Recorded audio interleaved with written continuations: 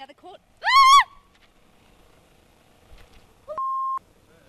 Yeah, I know, but like, I was not expecting. I can't get it off me. Oh my god, oh my god, can you please get it off me? It's not funny, Burger. It's not funny. What if that happened in the middle of a cross? When I did a big letterbox drop, and um, a lot of people rang me and said, We've seen your bird on the news. And I will say this I've got a open photo of, of rats, and it almost felt like just because I didn't know.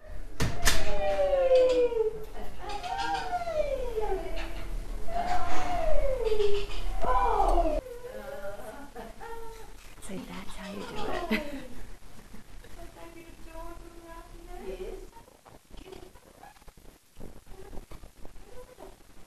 See how we go? There you go. There we go.